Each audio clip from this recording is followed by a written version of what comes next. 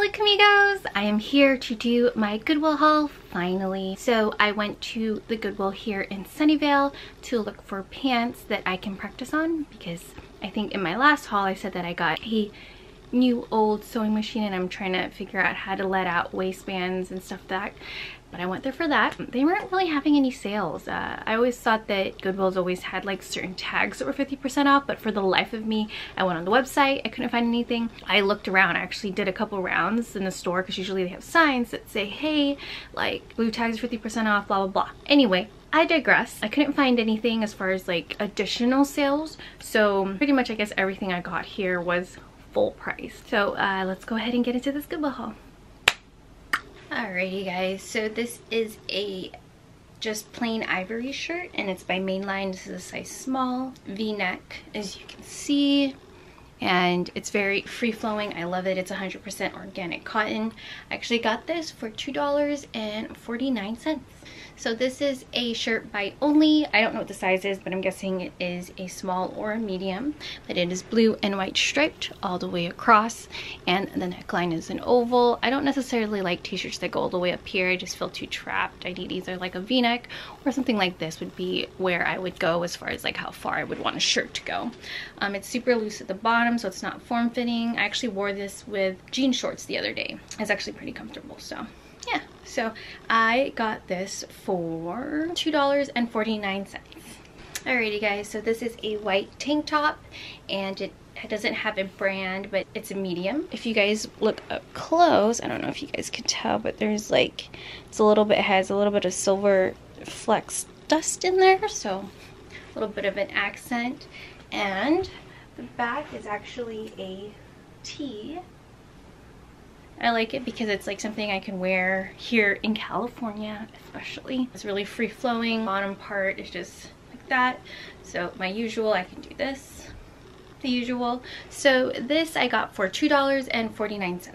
This is a regular crew necks crew neck sweater crew neck t-shirt and this is by universal threads and it is in a size small. It's almost like a heathered maroon color uh, again with the rounded neckline very free flowing not so tight.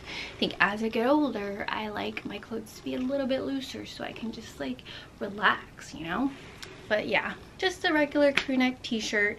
So this was going for two dollars and 49 cents. This is another white tank top and this is by H&M and this is a large so it's a little bit bigger but I really like again the openness here and it has three straps on both sides the back.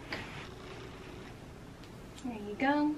And what I was thinking with this is I can wear it like this, you know, pair it with some jean shorts or something. So this I got for $3.69. I have a gray tank top here with the American flag draped on it. No size, no brand name, so I'm not sure.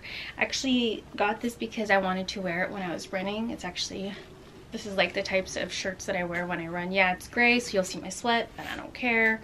Um, pretty basic. Yeah back. So this was going for $2.79. This shirt is a little bit unconventional for what I usually buy. This is by Twick and it's size extra small.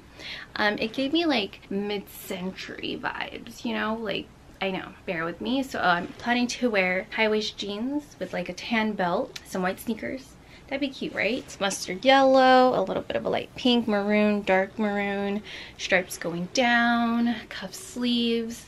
Uh, a little bit different, but I'm excited to actually style this. This is actually going for $2.49. Alrighty, so let's see here. I actually have my receipt. Yay! So I have a total of seven items for $19. Pretty good, huh? Not as good as my, my hauls back in the day, but you know, I'm trying to get to know my thrifting surroundings because it's all different here in the Bay, especially where I live in Sunnyvale, compared to my last haul in Modesto. That's the Central Valley. I live in the South Bay. It's a difference in pricing for sure. Alrighty, well, I hope you guys liked this video. If you guys did, go ahead and give it a thumbs up. If you want to see more videos by me, click that red subscribe button. It would totally make my day and I will see you guys later. Bye!